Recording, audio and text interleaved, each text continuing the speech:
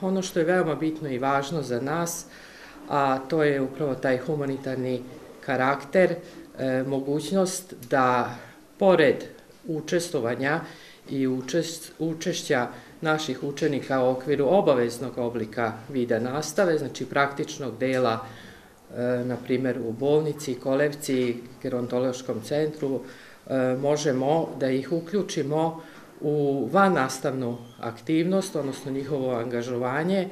e, tako reći volontiranje, znači da e, pre nastave, pre časova i nakon časova mogu da učestvuju u ovim akcijama.